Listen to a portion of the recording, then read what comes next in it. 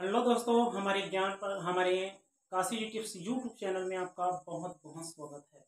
दोस्तों, आज के वीडियो में प्राय करके हम यह जानकारी देने जा रहे हैं कि प्राय करके बारिश के जो मौसम होते हैं, बारिश के जो मौसम होते हैं तो बारिश के मौसम में लोग प्राय करके पीलिया नामक जो बीमारी है, उससे काफ़ी ग्रस्त हो जाते हैं। क्योंकि पानी जो बारिश होता है, बारिश के जो पानी है, वो ज़मीन के नीचे चले जाते हैं और नीचे चले जाने के बाद जो जल के स्रोत हैं, जहाँ से नलकूप है, बोरिंग है, कुआँ है, तालाब है, सारे पानी आपस में मिक्स हो जाते हैं। तो मिक्स हो जाते हैं तो इससे प्राय करके लोगों को पीलिया नामक बीमारी हो जाता है।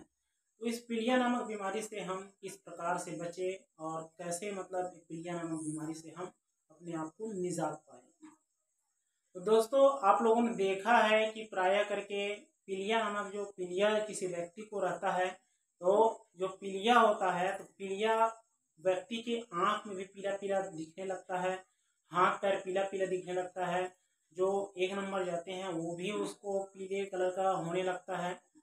प्राय करके पीलिया से बचने के लिए हमें दोस्तों चूने का उपयोग करना चाहिए। जो खाने का चूना होता है, मार्केट में आपको आसानी से मिल जाएगा पान ठेले के माध्यम से।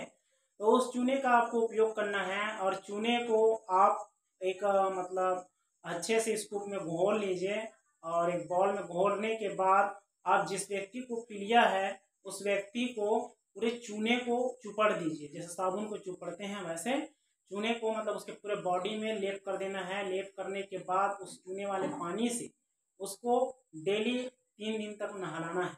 दोस्तों, प्राय करके इससे पीलिया आसानी से ठीक हो जाता है। दोस्तों, जिस भी व्यक्ति को पीलिया है, उसको जो आग के वृक्ष है। दोस्तों, आग के वृक्ष आप कहीं भी मिल जाते हैं। आसानी से तालाब के किनारे, नदी नाले और रास्ते में भी मिल जाते हैं। तो ये जो पीलिया का बीमारी है, ये हमारे आग के वृक्ष है, यानी कि पुड़हर बोलते हैं छत्तीसगढ़ में। तो आग के वृक्ष की जो क्या है, उसके जड़ें होते हैं। तो उसके जड़े को आप लाइए और छील कर उसको एक छोटा छोटा सा टुकड़ा बना लीजिए और उसमें सुई से फिरो कर एक माला बना लीजिए और उससे पहन लीजिए। उससे भी काफ़ी हद तक पीलिया का रोकथाम होता है। तो दोस्तों, ये रहा हमारे आज की वीडियो और नेक्स्ट वीडियो में और जानकारी देंगे। दोस्तों, प्राय करके पीलिया का जो संबंध होता है, ब्लड से होता है और हमारे शरीर में ब्लड की कमी के कारण हमें पीलिया नामक बीमारी होता है।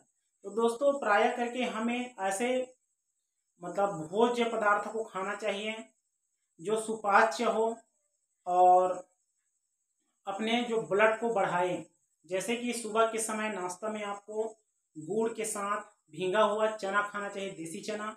उससे भी है, यदि डेली करते हैं तो निश्चित तौर में आपके ब्लड का जो सर्कुलेशन है बढ़ेगा, आपके ब्लड बढ़े बढ़ेंगे, जिससे पीलिया नामक बीमारी भी समाप्त हो जाता है। तो दोस्तों, आज की वीडियो में इतना ही जानकारी दिए नेक्स्ट वीडियो में और जानकारी देंगे।